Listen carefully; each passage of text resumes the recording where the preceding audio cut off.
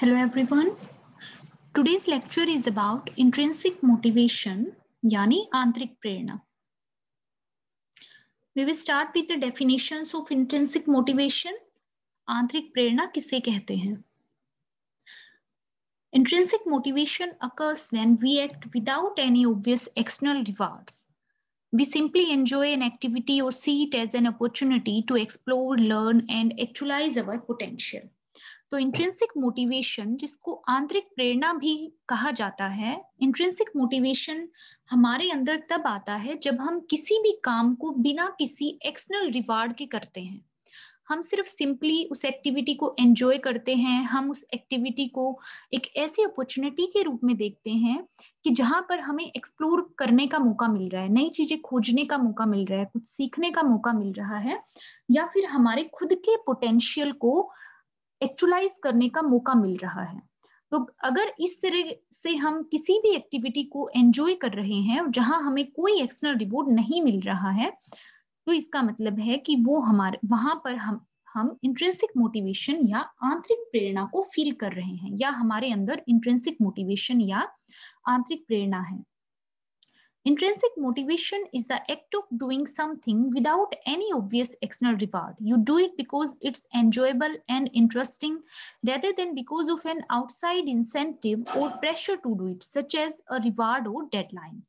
तो intrinsic motivation या आंतरिक प्रेरणा एक किसी भी काम को करने का एक ऐसा तरीका है जिसमें हमें कोई भी एक्सटर्नल रिवॉर्ड नहीं मिल रहा होता है या हमें कोई पुरस्कार या हमें आ, कोई भी एक्सटर्नल रिवॉर्ड नहीं दिया जा रहा है। हम सिर्फ़ उस काम को एंजॉय कर रहे हैं हमें वो काम इंटरेस्टिंग लग, लग रहा है। इसके बाद भी जबकि वहाँ पर हमें किसी तरह का इनाम पुरस्कार या इंसेंटिव नहीं मिल रहा है या हमारे ऊपर उस काम को करने का कोई प्रेशर या दबाव नहीं है।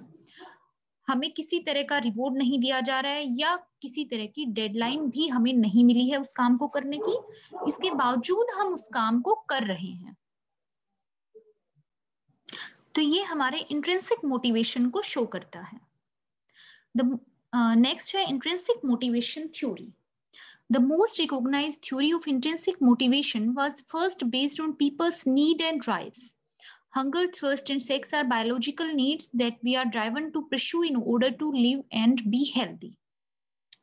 तो सबसे मेन जो थ्योरी है इंट्रेंसिक मोटिवेशन की वो लोगों की नीड और ड्राइव के ऊपर बेस्ड है तो नीड और ड्राइव को आप मोटिवेशन साइकिल में पढ़ चुके हैं तो उसी के बारे में यहाँ बताया गया है कि ये माना जाता है इंट्रेंसिक मोटिवेशन जो है वो किसी भी व्यक्ति की नीड या ड्राइव के ऊपर बेस्ड होता है। फॉर एग्ज़ाम्पल हमारी जो बायोलॉजिकल नीड है, जैसे हंगर है थ्रस्ट है स्लीप है सेक्स है, ये सब हमारी बायोलॉजिकल नीड होती है। तो ये सब चीज़ें हमारी ज़िंदा रहने के लिए या हेल्दी रहने के लिए ज़रूरी होती हैं। तो इनको प्रशु करने के लिए या इनको फुलफिल करने के लिए हम प्रेरित रहते हैं। हम इंटरनली मोटिवेटेड रहते हैं, जो कि इंट्रेंसिक मोटिवेशन का कारण बनता है। Just like these biological needs people also have psychological needs that must be satisfied in order to develop and thrive these include the need for competence autonomy and relatedness तो biological need की तरह ही कुछ एक हमारे अंदर psychological needs भी होती हैं या मनोवैज्ञानिक आवश्यकताएँ होती हैं जिनको सेटिस्फाई करना हमारे लिए ज़रूरी हो जाता है और जो हमारे डेवलपमेंट के लिए और हमारे खुश रहने के लिए ज़रूरी होती हैं। तो इन नीड को सेटिस्फाई करने के लिए भी इंट्रेंसिक मोटिवेशन हमारे अंदर आता है या हम इंटरनली मोटिवेटेड फील करते हैं। तो जो साइकोलॉजिकल नीड्स हैं, उनमें नॉर्मली आता है नीड फॉर कॉम्पिटेंस कंपटीशन करने की नीड जो होती है, उसको फुलफिल करने के लिए बहुत बार हमारे अंदर आंतरिक प्रेरणा या इंट्रेंसिक मोटिवेशन डेवलप हो जाता है। नीड फॉर ऑटोनोमी और नीड फॉर रिलेटेडनेस तो कई बार व्यक्ति में अपने आप को साबित करने की जो प्रेरणा होती है, वो भी इंटेंसिक मोटिवेशन का कारण बनती है।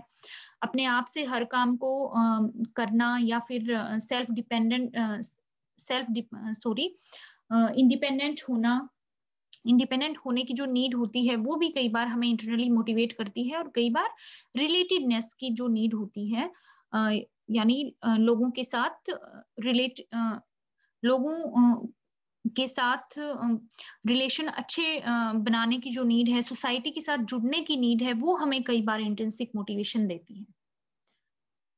Along with satisfying these underlying psychological needs intrinsic motivation also involve seeking out and engaging in activities that we find challenging interesting and internally rewarding without the prospect of any external reward तो इस तरीके से biological and psychological need के अलावा uh, भी बहुत सारी uh, चीज़ें ऐसी होती हैं जिनको करने से हमें अंदर से खुशी मिलती है या हमें इंटरनल मोटिवेशन मिलता है।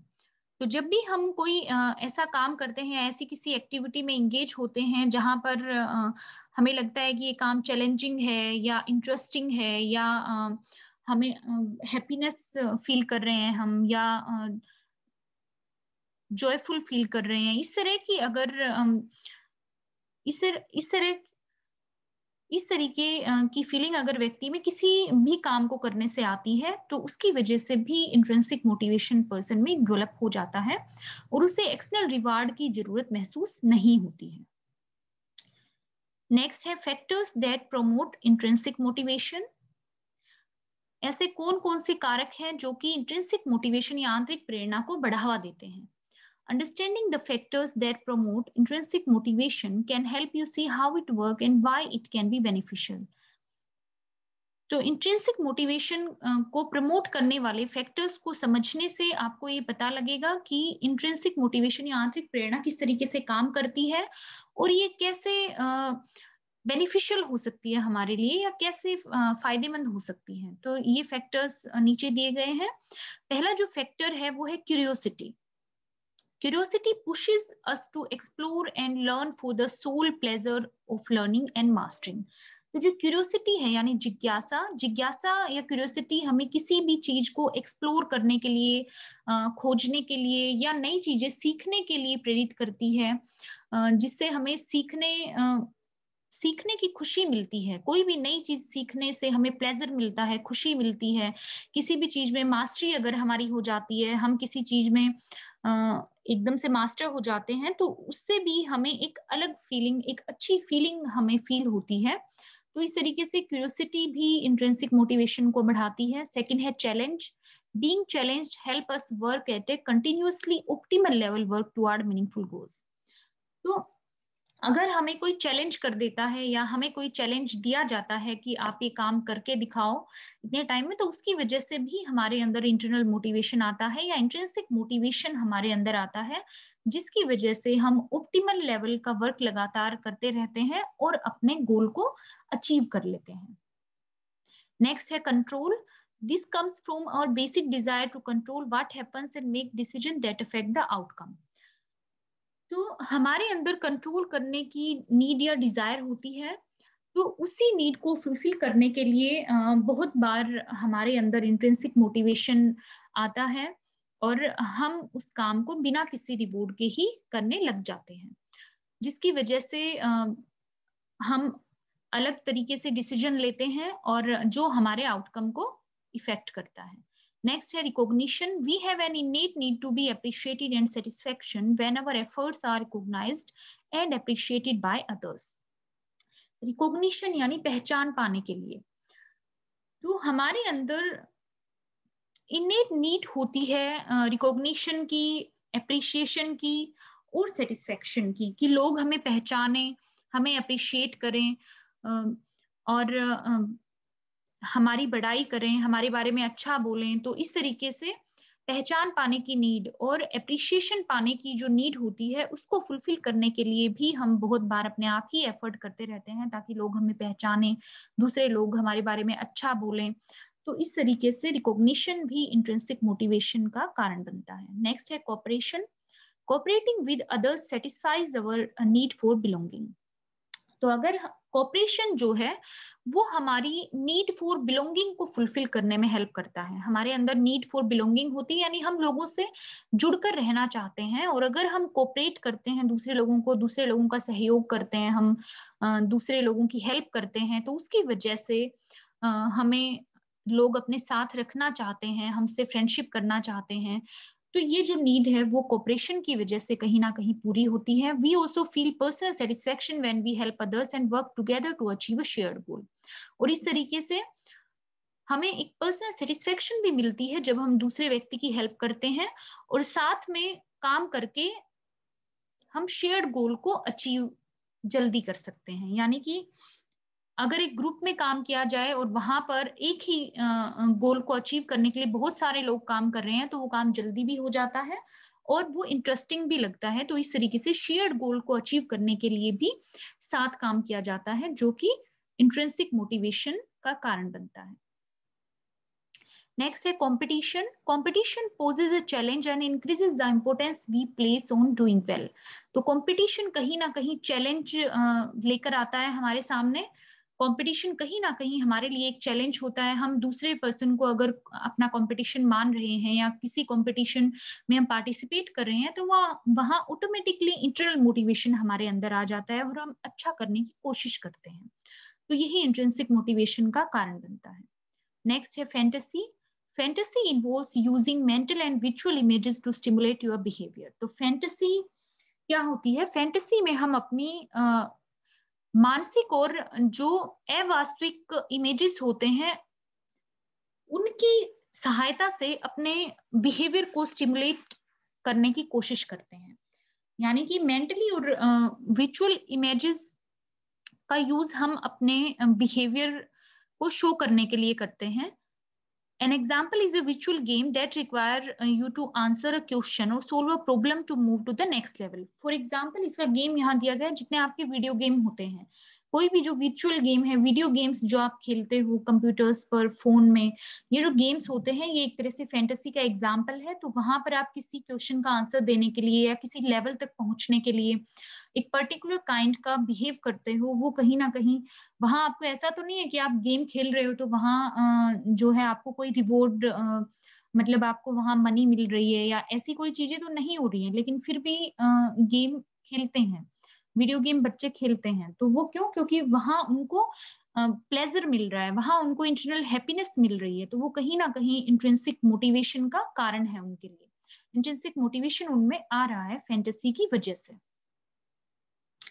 नेक्स्ट है effect of reward on intrinsic motivation कि रिवार्ड का इंट्रेंसिक मोटिवेशन पर क्या इफ़ेक्ट होता है? अगर इंट्रेंसिक मोटिवेशन तो है, किसी भी व्यक्ति में, साथ में अगर रिवार्ड भी उसको दे दिया जाए तो उसका क्या इफ़ेक्ट रहेगा? यहाँ ये बात बताई गई है। The over justification effect has inspired an entire field of study that focuses on student and how to help them reach their full potential तो यहाँ एक ओवर जस्टिफिकेशन इफ़ेक्ट की बात करी गई है। ओवर जस्टिफिकेशन इफ़ेक्ट जो है, वो पूरी फ़ील्ड ऑफ़ स्टडी को इंस्पायर करता है और वो स्टूडेंट्स के ऊपर फोकस करता है कि वो अपने फुल पोटेंशियल तक कैसे पहुँचे। तो यहाँ एक स्टडी की बात करी जा रही है, उसमें ओवर जस्टिफिकेशन इफ़ेक्ट को देखा गया है। ये स्टडी जो है, वो स्टूडेंट्स के ऊपर करी गई है।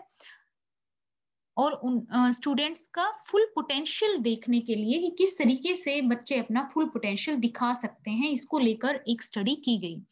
दो experts are divided on whether extrinsic reward have beneficial और negative effect on intrinsic motivation a recent study showed that reward may actually encourage intrinsic motivation when given early in task हालाँकि जो experts हैं, वो एक दूसरे से सहमत नहीं है इस बात में कि एक्सट्रेंसिक रिवार्ड इंट्रेंसिक मोटिवेशन को बढ़ाते हैं। कुछ एक एक्सपर्ट्स जो हैं, वो ये मानते हैं कि एक्सट्रेंसिक रिवार्ड यानी बाह्य रिवार्ड बाहरी रिवॉर्ड जो है किसी भी रूप में, वो इंट्रेंसिक मोटिवेशन के लिए फ़ायदेमंद रहते हैं। वहीं कुछ एक्सपर्ट का मानना है कि नेगेटिव इफ़ेक्ट डालते हैं रिवॉर्ड इंट्रेंसिक मोटिवेशन पर। हालाँकि एक रिसेंट स्टडी हुई है जिसमें कि ये माना गया है कि अगर किसी भी टास्क को करते समय उसके बिल्कुल स्टार्टिंग में ही अगर किसी भी व्यक्ति को रिवॉर्ड दे दिया जाए तो इंट्रेंसिक मोटिवेशन में बेनिफिट देखने को मिलता है। यानी कि अगर रिवॉर्ड अर्ली स्टेज में ही दे दिया जाए किसी भी व्यक्ति को तो वो उसके इंट्रेंसिक मोटिवेशन को और ज़्यादा बढ़ा देता है। Researchers examine how reward timing influenced intrinsic motivation तो जो भी रिसर्चर्स हैं अलग अलग रिसर्चर्स ने स्टडी की और ये पाया कि किस तरीके से रिवार्ड या पुरस्कार की टाइमिंग कि किस समय पर पुरस्कार या रिवॉर्ड दिया जा रहा है व्यक्ति को, वो इंट्रेंसिक मोटिवेशन या आंतरिक प्रेरणा को प्रभावित करता है। They found that giving an immediate bonus for working on a task rather than waiting until the task was completed increase interest and enjoyment in it तो रिसर्चर्स का मानना था उन्होंने देखा कि अगर किसी भी काम को आ, करते ही इमिडिएटली अगर रिवॉर्ड दे दिया जाए इमिडिएटली रिवॉर्ड देने से जो लोग हैं वो ज़्यादा एंजॉयमेंट फील करते हैं और उनका इंटरेस्ट भी बढ़ जाता है उस काम में, यानी नेक्स्ट टाइम जब वो काम करेंगे तो उनमें इंट्रेंसिक मोटिवेशन ज़्यादा बढ़ा हुआ मिलेगा। वहीं दूसरी तरफ़ अगर किसी भी टास्क को या काम को करने के बाद उनको वेट करना पड़ रहा है, काफ़ी लंबा वेट करने के बाद भी उनको रिवॉर्ड नहीं दिया जा रहा है तो वो उनमें इंट्रेंसिक मोटिवेशन को कम कर देता है, यानी उनको लगेगा कहीं ना कहीं स्टार्टिंग में हो सकता है एक दो या तीन बार वो उस काम को करे तो उनमें इंट्रेंसिक मोटिवेशन हो लेकिन अगर उनको रिवॉर्ड नहीं मिलेगा बिल्कुल आ, किसी भी तरह का अगर एक्सटर्नल रिवॉर्ड नहीं मिल रहा है उनको तो वहाँ पर ये पॉसिबल है कि धीरे धीरे इंट्रेंसिक मोटिवेशन उस पर्सन में कम हो जाए Getting an earlier bonus increased motivation and persistence in the activity that continued even after the award was removed. तो अगर स्टार्टिंग में ही पर्सन को रिवॉर्ड या बोनस दे दिया जाए तो उससे व्यक्ति में मोटिवेशन बढ़ता है और उस काम को करने उस काम को करने में इंटरेस्ट बना रहता है उस व्यक्ति का। और ये मोटिवेशन और इंटरेस्ट रिवॉर्ड के हटाने के बाद भी उसमें लगातार बना रहता है। नेक्स्ट है the factors increasing intrinsic motivation कि कौन से फैक्टर हैं जो इंट्रेंसिक मोटिवेशन को बढ़ावा देते हैं? the factors, they identify z as increasing intrinsic motivation include तो यहाँ कुछ फैक्टर दिए गए हैं जो कि आंतरिक प्रेरणा या इंट्रेंसिक मोटिवेशन को बढ़ाने में हेल्प करते हैं। फ़र्स्ट है challenge people are more motivated when they pursue goals with personal meaning and when attaining the goal is possible but not necessarily certain these goal may also relate to their self esteem when performance feedback is available तो generally लोग उस समय ज़्यादा internally motivated रहते हैं जब वो अपने किसी पर्सनल मीनिंग के लिए काम कर रहे होते हैं या अपने किसी पर्सनल मीनिंग के लिए या अपने आप से किसी भी गोल को डिसाइड करके उस गोल को अचीव करने की कोशिश करते हैं। उस समय पर लोग ज़्यादा इंटरनल हैप्पीनेस फील करते हैं या ज़्यादा इंटरनली मोटिवेटेड होते हैं। इट मीन्स अगर पर्सन अपने आप से चैलेंज सेट करता है, अपने आप से खुद के लिए एक चैलेंज सेट करता है तो वो उस गोल को अचीव करने के लिए ज़्यादा इंटरनली मोटिवेटेड रहता है और उसमें इंट्रेंसिक मोटिवेशन भी ज़्यादा रहता है। और अगर व्यक्ति की परफॉर्मेंस को फीडबैक मिलता रहे और उसका सेल्फ एस्टीम बढ़ता रहे धीरे धीरे तो उसमें इंट्रेंसिक मोटिवेशन और ज़्यादा बढ़ जाता है। नेक्स्ट है control people want control over themselves and their environment and want to determine what they pursue. तो जनरली लोग अपने आप के ऊपर कंट्रोल रखना चाहते हैं, अपने एनवायरमेंट के ऊपर कंट्रोल रखना चाहते हैं और उन्होंने क्या अचीव किया है उस चीज़ के ऊपर भी वो कंट्रोल करना चाहते हैं और वो क्या अचीव करना चाहते हैं लाइफ में, उस गोल को अचीव करने के लिए वो अपने आप पर कंट्रोल रखना चाहते हैं तो इस तरीके से कंट्रोल भी हमारे अंदर कहीं ना कहीं इंट्रेंसिक मोटिवेशन का कारण बनता है या इंट्रेंसिक मोटिवेशन को बढ़ाता है Next है cooperation and competition. Intrinsic motivation can be increased in situation where people gain satisfaction from helping others. तो कई बार इंटरनल मोटिवेशन ऐसी सिचुएशन में भी बढ़ जाता है, जहाँ लोगों को दूसरों की हेल्प करके सेटिस्फेक्शन मिलती है या जहाँ लोगों को दूसरों की हेल्प करके खुशी मिल रही होती है, वहाँ भी इंट्रेंसिक मोटिवेशन कॉपरेशन और कंपटीशन की वजह से बढ़ जाता है। It also applies to cases where they are able to compare their own performance favourably to that of other वही कॉपरेशन की तरह ही सेम सिचुएशन कंपटीशन में भी होती है कि अगर व्यक्ति अपने किसी साथ के पर्सन के साथ अपने आप को कंपेयर कर पा रहा है या अपनी परफॉर्मेंस को कंपेयर कर पा रहा है, वो उससे आगे बढ़ने की कोशिश कर रहा है कंपेयर करके। तो इसी तरीके से उसमें कंपटीशन की फीलिंग आती है और कंपटीशन की वजह से भी इंट्रेंसिक मोटिवेशन बढ़ जाता है। नेक्स्ट है curiosity motivation is increased when some, something in the physical environment grabs the individual attention. Sensory curiosity. तो कई बार अगर व्यक्ति कि अटेंशन एकदम से एनवायरमेंट में किसी एक पर्टिकुलर चीज़ पे जा रही है तो उसमें एकदम से क्यूरियोसिटी आती है कि ये क्या चीज़ है मैं इसका पता लगाऊँ। तो इस तरीके से अचानक से अगर हमारी अटेंशन किसी चीज़ पे ज़्यादा जाती है तो हमारे अंदर क्यूरियोसिटी डेवलप होती है और उसकी वजह से भी हमारे अंदर इंट्रेंसिक मोटिवेशन आ जाता है। It also occurs when something about the activity stimulate the person to want to learn more, cognitive curiosity. ठीक है? तो जो यहाँ हमने बात की कि अगर हमारी अटेंशन किसी चीज़ पे ज़्यादा जा रही है तो उसको सेंसरी क्यूरियोसिटी के नाम से जाना जाता है।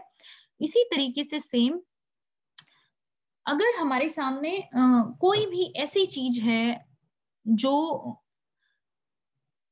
जो हमें कुछ भी एक पर्टिकुलर टास्क करने के लिए प्रेरित कर रही है या हमें कोई नई चीज़ सीखने के लिए प्रेरित कर रही है तो उसको कोग्नेटिव क्यूरियोसिटी के नाम से जाना जाता है। यानी वहाँ पर हमारी जो मेंटल एबिलिटीज हैं उनका यूज़ हम कर रहे हैं चीज़ों को लर्न करने के लिए या चीज़ों को सीखने के लिए। तो इस तरीके से क्यूरियोसिटी भी इंट्रेंसिक मोटिवेशन को बढ़ाती है। नेक्स्ट है recognition people enjoy having their accomplishment recognized by other which can increase internal motivation तो जनरली लोग अपने किसी भी अचीवमेंट को लोगों द्वारा रिकॉग्नाइज करवाना चाहते हैं। अगर हम आ, किसी चीज़ को अचीव करते हैं तो हम चाहते हैं कि लोगों को पता लगे लोग हमारी तारीफ़ करें लोग हमें पहचाने रिकॉग्नाइज करें। तो इस तरीके से रिकॉग्निशन भी इंटरनल मोटिवेशन या इंट्रेंसिक मोटिवेशन को इंक्रीज करने में हेल्प करता है।